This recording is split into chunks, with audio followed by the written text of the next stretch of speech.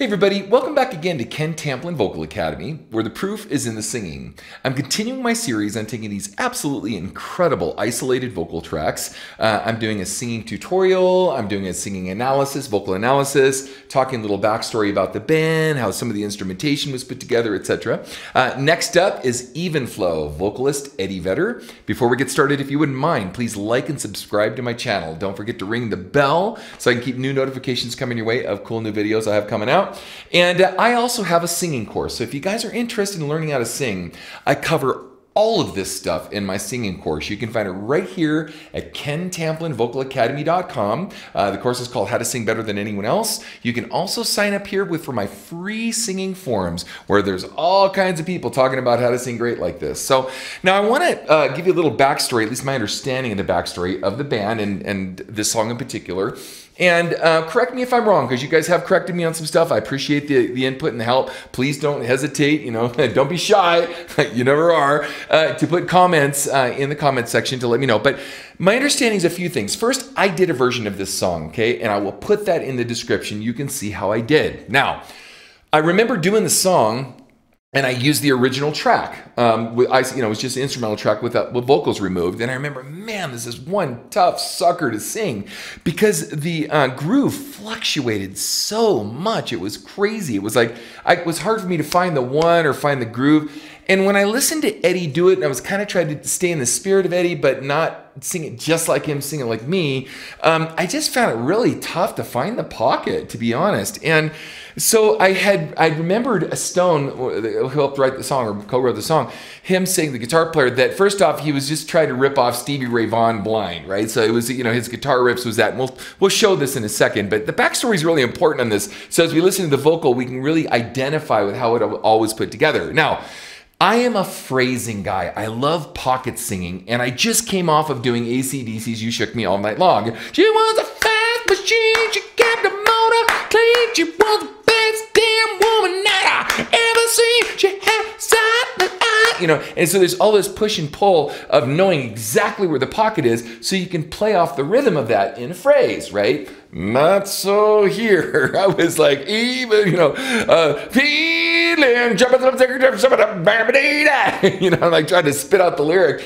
And so there's almost like a blues Stevie Ray Vaughan, kind of like the way blues singers would sing, just kind of spit out a line and then do your guitar part, spit out another line. Um, but then there's also kind of a punk sort of element to it too, uh, in the way it's phrased and stuff. So it's not normal. Now, this is very indicative of a lot of the grunge metal bands. So I know they don't like to be called grunge metal. We'll just call them a rock band from Seattle, whatever. But uh, that movement where they were moving away and departing away from the typical, you know, um, big rock, you know, anthemic kind of Bon Jovi sort of sound or whomever was big, you know, coming off that and moving into much more of a garage band sound. And we see this with Kurt Cobain. We see this with all these different bands and uh, Stone Temple Pilots, etc. Now, some of them did maintain kind of like Zeppelin vibes. In his case, Stone was talking about how he wanted to sound like Stevie Ray Vaughan, and there's definitely an influence there. But also, though, um, they departed, seriously departed away from the party, you know, lyric from the big anthemic vocals, from the ACDC or Bon Jovi or Pocket started playing, and everything was kind of like everybody playing together, which was a garage band. Now, I know this is a long intro, but hang in there with me because it will really relate to this as you hear this. My understanding, you guys can correct me wrong uh, if I'm wrong on this, is that they recorded the thing like 50, 60, 70 times, and they still couldn't get the take that they wanted, so they kind of settled on this. In fact, they even had came in, I think on the video or something else, they brought in a second drummer, so they had like a second recording of this too, because they couldn't find the pocket because the tempo fluctuated so much. And ironically, I didn't know that information when I was recording my version. Again, check it out. It's in the description. You can see how I did. But I remember going, man, this is hard to find like the, the pocket in the groove. So I can only imagine what Eddie was sort of going through when he was trying to do this. But it's but kudos to them too for the live feel of it because it really does have that you know moving ebb and flow of a live feel. Now in fairness, in the 70s, whether it was Led Zeppelin or whomever, they never used clicks. I mean, you listen, you try to like find some of this stuff in a Zeppelin song, like good luck with that. You just gotta hope that it's somewhere, somewhere in there. And it could be since I've been loving you or whatever. And man, it's it's tough to find that too. So I wanted to say all that as we're going through this because it's important to annotate that uh, while listening to vocals. So here's Eddie Vedder uh, and Even Flow. Let's do this. Oh, by the way, the song, that was the other thing really quickly. Sorry. The song, so uh, instead of writing about parties, and writing about chicks and you know blondes with black cars in the boulevard and all this stuff he's writing a song about a homeless guy and very few people were that socially conscious. You know, in the 80s, it was more of like, you know, party, Motley Crue, you know, whatever. Everything was about rah, rah, rah, arena rock having this big party. And they were writing about socially conscious issues. And that was what was happening too, was they were like, I don't relate to these guys with their perfect guitars and everything's perfect and and glitz and glamour, which is glam rock, right? I just I just gotta spit out my story because I'm frustrated and I'm I'm depressed. I'm you know I'm I'm all these things and I'm seeing this social scene around me that I'm not loving and I want to write about it. And so that's precisely sort of the instigation behind and the inspiration uh, behind the tune. Okay, sorry for the long intro, but hopefully that was beneficial. Hey, and put other stuff in the notes sections if you guys have stuff in you know in the comments. Please contribute to this. That would be awesome awesome. Here we go. Freezing, rest his head on a pillow made of concrete. Also, like I said, you know, she was a fast machine. She kept the motor clean. Right. This is Yappa. Freezing on the head on made of concrete. You know, rest his head on a pillow made of concrete. So it's a rest his head on a pillow made of concrete. This time, rest his head on a pillow made of concrete. Time, rest his head on a pillow made of concrete. Rest his head on a pillow made of concrete. And he's really punky, like a lot of like punk rock, and and or or like blues, like I said, Stevie Ray Vaughan kind of thing. The way he phrases his stuff, so it's almost impossible to match in that sense. Um, and there's a lot of people that do this, especially in this era. But why don't you listen to it? In fact, I'm going to throw the rhythm up real quick so you can hear how it worked with the rhythm. So.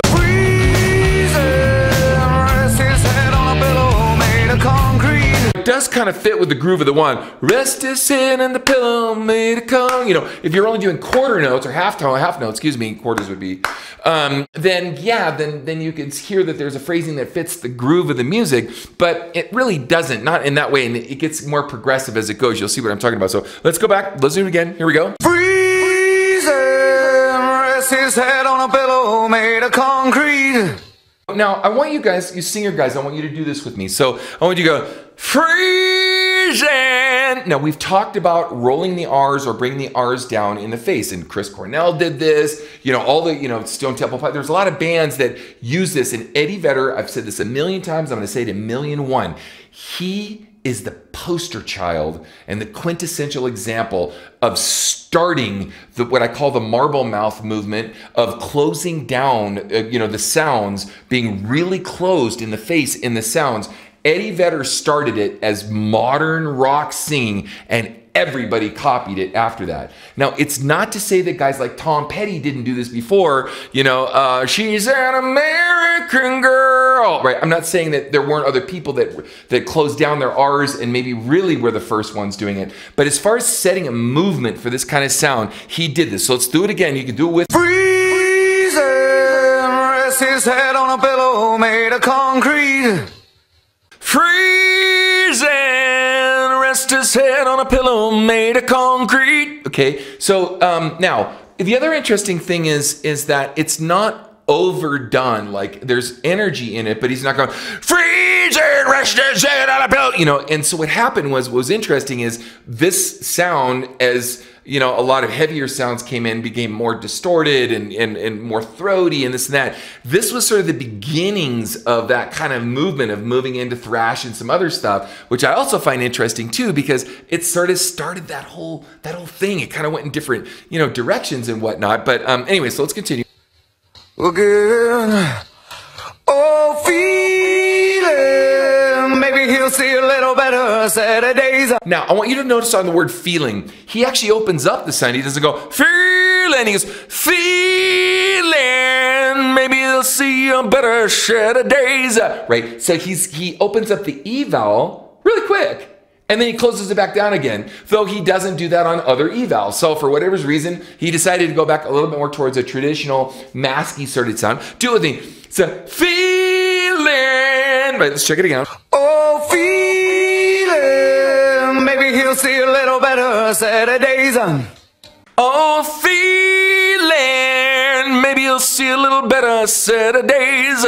Right? And you love that. These, ah, ah, ah. It's like Hetfield Metallica or something, right? All right, so anyway, let's continue. Here we- Oh, hey, now. Faces that he sees, time again, ain't that familiar? Now, again, if you notice, in my opinion, and it'd be kind of cool if Eddie even corrected me if I'm wrong, but if you listen to the rhythm of this as it's going by, it's almost like the only thing he can count on are half tones. And so he manipulates the phrasing of the way he wrote it and the way he feels it around a instead of it doesn't have that feel. It's got whatever, it's got like these quick vocal stabs. And then he kind of catches the quarter or half tones of it. Check it out. Oh, hey,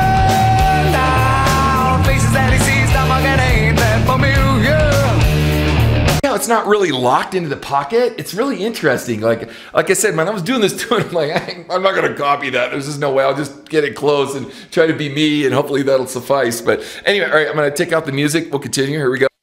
Yeah. Oh, Dahlgren, he can't help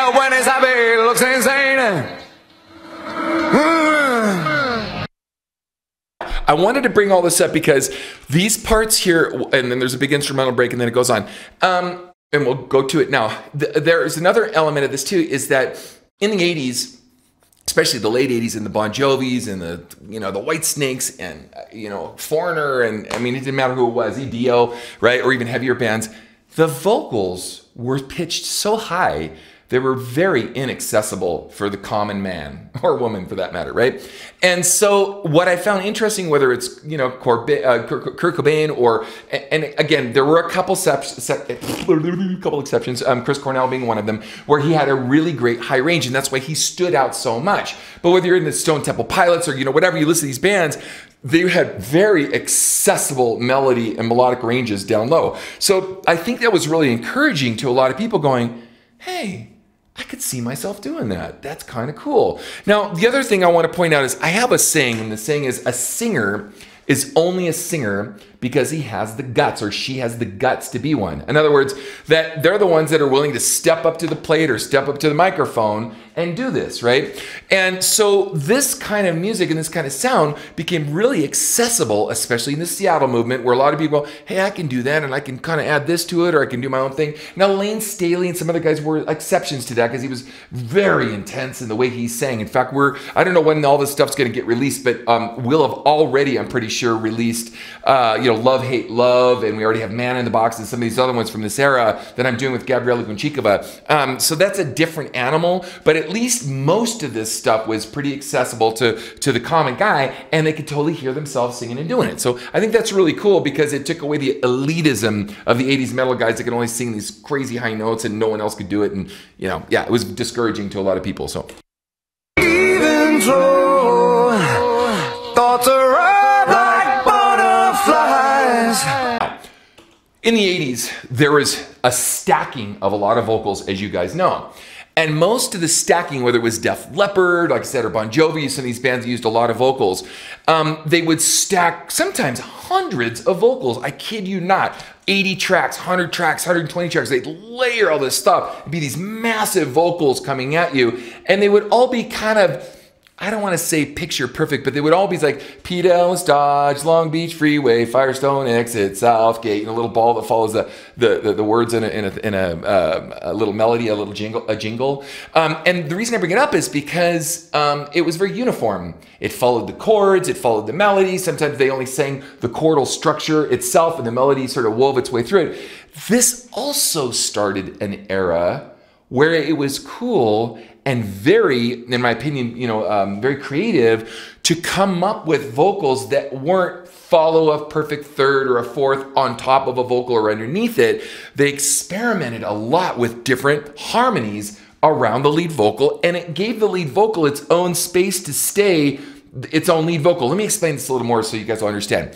A lot of times, if you notice that when you have a lead vocal, especially you singers out there recording, you have this lead vocal cruising along And the minute you put a harmony on it, it takes away from the, the true identity or the uniqueness of the main melody. Okay. So what happens is, is when that happens, uh, you know, it, Kansas could be an example or whomever, where you see them with a melody and then you just sort of accept in the song that the melody is like, a melody and a harmony and it kind of becomes the melody so to speak right but it really is a deterrent and it really pulls away from the the integrity of the original melody like it gets kind of lost in a lot of harmonies and other things and when you do it this way it doesn't. Check it out. Listen check Even flow, thoughts arrive like butterflies.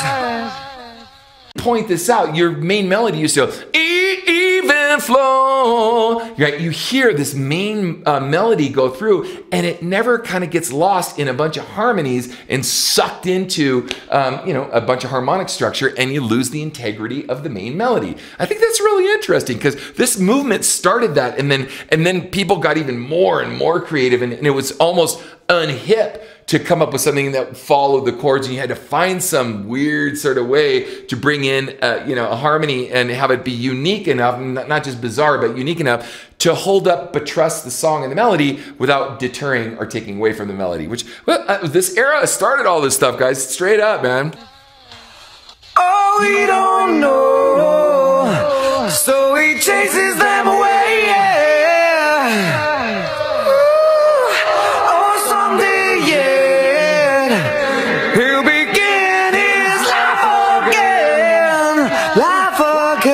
Life again. Healing. Looking through the paper, though he doesn't know to read. Now, if you listen to that, um, there's a really long, um, uh, a really long uh, breath that he takes in order to be able to com- complete this phrase. Check this out. again, life again,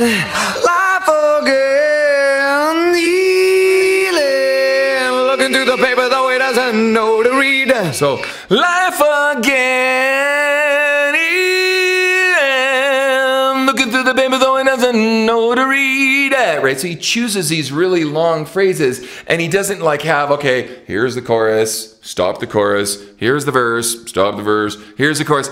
He's just kind of in a band, vibing, going, oh, oh, God, there was no room to end the chorus. I'm just going to go straight into the verse. That's another thing of just, again, that cool ebb and flow vibe of, of the, I say garage band, not in a negative way, but, you know, just being jamming with your buddies and, and just kind of even flow, like whatever kind of flows out uh, out of that. So there was a lot of that in this, which I think is really interesting. Check it out one more time. Life again, life again,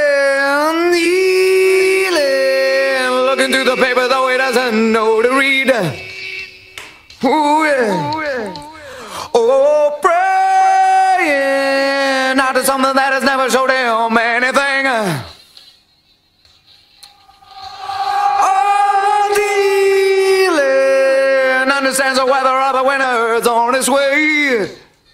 Okay, now they love to use a lot of the reverse effect in this a lot, and it, it adds a lot of tension, bringing, you know, emphasizing the downbeat of a one, you know, and you know, a lot of bands have done that over the years. Even in the '70s, there's a lot of that that was done. So let's continue. Here we go. Check it out. All ceilings few and far between all illegal halls the same. Yeah. Yeah. Even flow,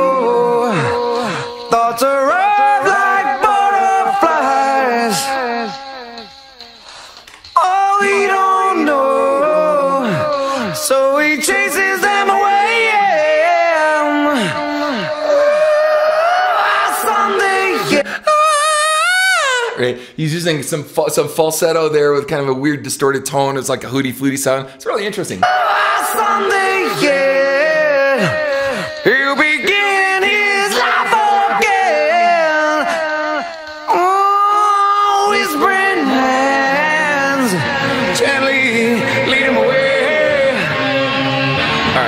And then someone brings the music back in here. But again, a really creative era. Um, I also noticed too that they reached back a lot you know, to a lot of 60s stuff too um, in here. And there's some Beatles influence too and some other stuff like that. But there was there was like a, a kind of almost a total rejection of, of, of having probably about 80% of their music have any sort of classic rock or 80s metal or you know metal or 80s metal or anything you know power metal anything like that they really you know threw off the yoke of that and rejected that and really were trying to create and invent their own sounds even with their chord structures and whatnot and these guys certainly set the precedent for that and they were at the very top of the heap uh, of innovation. So hopefully you guys enjoyed that as much as i enjoyed putting it together for you. Please don't forget to like and subscribe to my channel again. I have a singing course called how to sing better than anyone else. You can find it at ken tamplin and definitely check out my next video.